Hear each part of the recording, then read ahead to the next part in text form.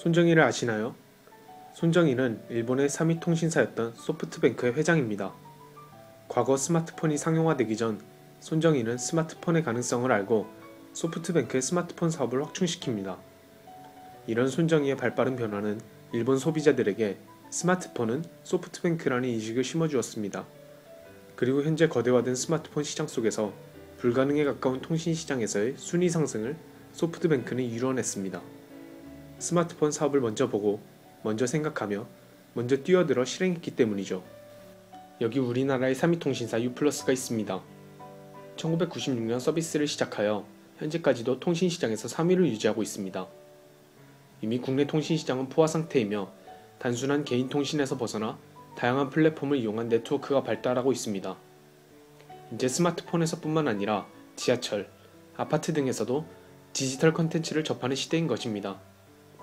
현재 SKT와 KT, U+ 모두 플랫폼 사업을 시작하였지만 서로 눈치만 보는 상황입니다. 그래서 소비자들은 이러한 플랫폼 사업들을 잘 모르고 있습니다. 이제 U+는 소프트뱅크가 스마트폰 사업을 시도했던 것처럼 플랫폼 기반의 새로운 convergence 사업을 개척해야 합니다. 저희는 U+가 mirror display 사업을 할 것을 제안합니다. mirror display란 공공장소나 집안의 거울을 통하여 광고나 정보 등을 제공함으로써 기존의 광고 방식보다 훨씬 더 인지율이 높은 효과를 보이는 방식입니다. 한 조사에 따르면 화장실에서 mirror display를 통해 광고를 본 사람들 중 78%가 mirror display가 주의를 끌어 보게 한다고 답했습니다.